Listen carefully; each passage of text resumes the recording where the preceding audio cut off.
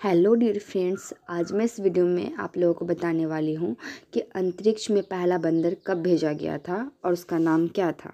तो अंतरिक्ष में पहला बंदर सन उन्नीस सौ उनचास को भेजा गया था, यानी कि 1949 को भेजा गया था और उसका नाम अलवर्ट टू था और उसका नाम अलवर्ट टू था।